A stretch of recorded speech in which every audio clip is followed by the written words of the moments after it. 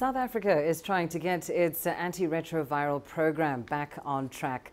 The country has the highest number of people living with HIV in the world. Testing and treatment have been severely hampered over the past 20 months, with resources being diverted to fighting COVID-19. CGTN's Julie Shire reports. South Africa has around 8.2 million people living with HIV. It made steady progress towards having 90% of HIV positive people on therapy. This worsened through the COVID 19 pandemic.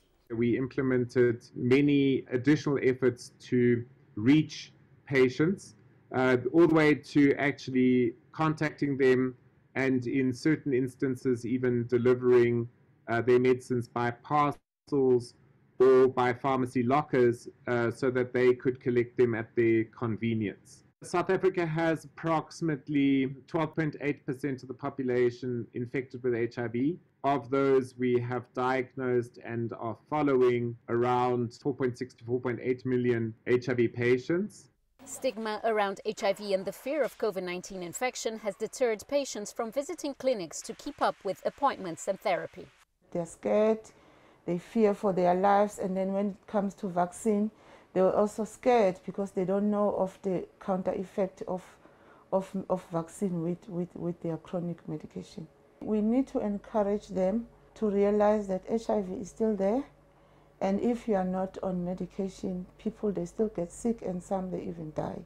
There's also been a concerning drop in tuberculosis testing, which is closely linked to HIV and is one of South Africa's leading causes of death. And we are very worried about that because, in fact, we need to uh, not lose the ground that we have gained in the region over the last uh, three to four years in reducing TB incidence.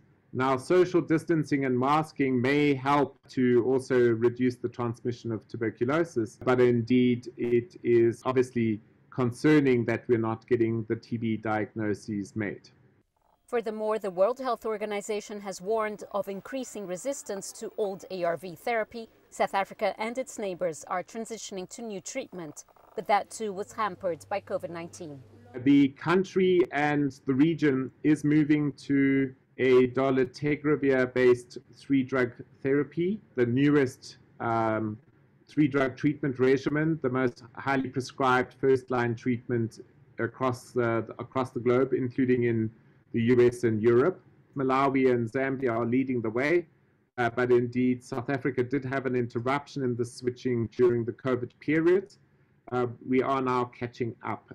South Africa has a battle on its hands. Untreated HIV positive people are at a greater risk of severe COVID 19 infection if they are not vaccinated. The country is on the cusp of a fourth COVID 19 wave. Hospitals are filling up, and it's likely to once again impact on critical health services.